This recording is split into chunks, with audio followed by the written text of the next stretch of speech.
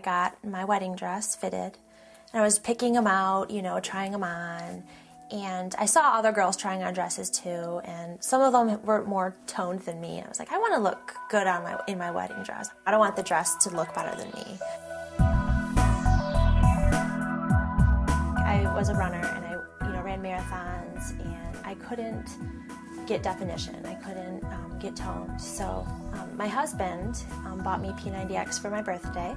And so I figured this is a great opportunity to, you know, use this before our wedding.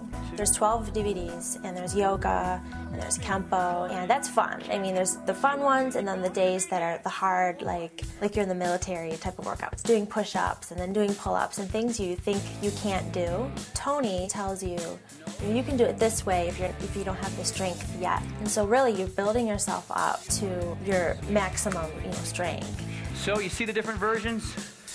Standard, extreme, and something in between. It's all there for everybody. A week after P90X, I started seeing the results, and I could see my muscles in my arms. But it wasn't bulky. It wasn't like, you know, a bodybuilder. You know, I was still looked feminine. It just was, you know, more toned. I've never had that before.